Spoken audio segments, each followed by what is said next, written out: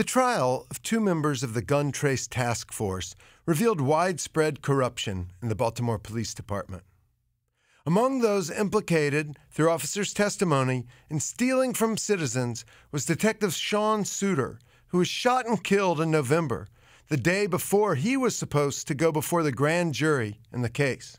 His death, which resulted in a nearly week long lockdown of a predominantly black neighborhood, was followed by a hero's funeral.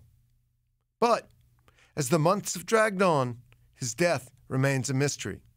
Newly appointed Police Commissioner Darryl De Sousa told ABC2 News that he would bring in an independent consultant to help determine what happened to the detective.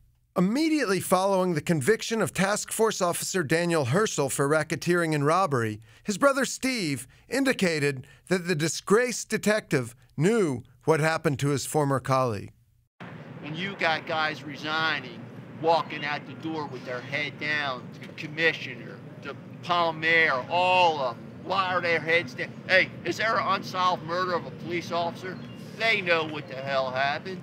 They know what the hell. My brother Danny Hersl knows what happened. Do you know what happened? Oh yeah, I know what happened. Well, what happened? Oh yeah, well you're going to find out what happened. And you're going to find out a lot more. Because Danny Hersl's going to tell you what's going to happen. He's going to write a book. And he and he's going to do some talking. He, his day's not done. Steve Hersl was referring to Deputy Commissioner Dean Palmere. Momodu Gondo, one of the officers who pleaded guilty, testified that his longtime partner, Jemell Rayam, murdered a man in 2009 because he didn't feel like chasing him. Palmere, Gondo said, came to the scene and concocted a story to cover up the crime.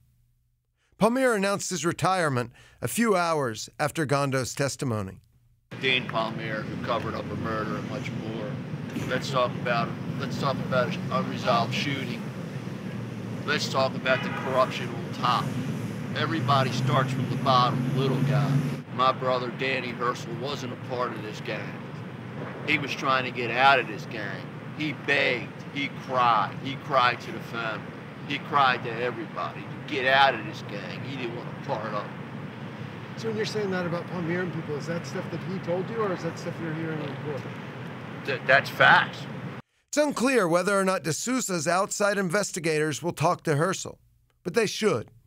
Former Baltimore Police Commander Neill Franklin says that investigations regularly function by turning criminals into witnesses.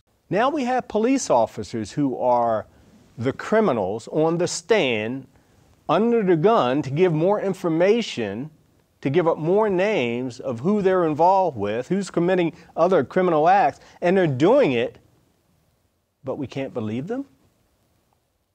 Why, why is it that we can't believe them, but we believe, you know, as criminal investigators and police officers, when we go after gang members and others and we charge them, and then they start telling about their accomplices and so on, we, we believe them. And they're what we call career criminals, right? But now we got criminals in uniforms doing the same thing, but we can't believe them because they're talking about other people in uniforms.